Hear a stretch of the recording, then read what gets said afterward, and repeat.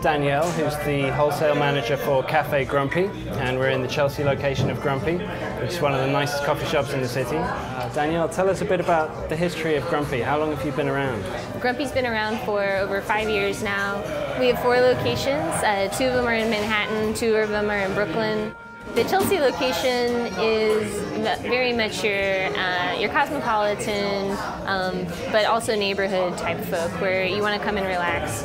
But I've had people come in in their slippers and pajamas, and then also full gowns before going out to Lincoln Center. So you you can definitely get the full variety of your New York life at the Chelsea store.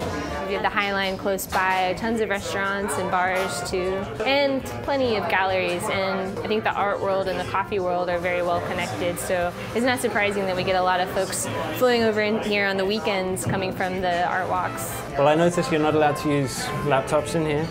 What's that about? It's true. We like it to be more of uh, a conversational atmosphere, a place where people can come meet in the morning with their kids and enjoy a pastry and a coffee, or in the afternoon. You know, we get a, a lot of people coming in after work wanting to just get away from all of that. What do you guys put with your decaf? You must be quite a sort of coffee expert yourself. I consider it a part of my life, not just my job. And I kind of think of uh, that a lot of us here at Grumpy view coffee is more than just something where you're plugging numbers and chugging the caffeine at the end of the cup. It's more about the flavor that you can pull out of it, how you can manipulate coffee to make it really shine and to show off the hardest work on the farm level.